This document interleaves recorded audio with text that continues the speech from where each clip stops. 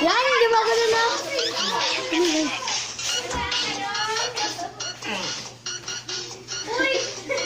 One, two, three.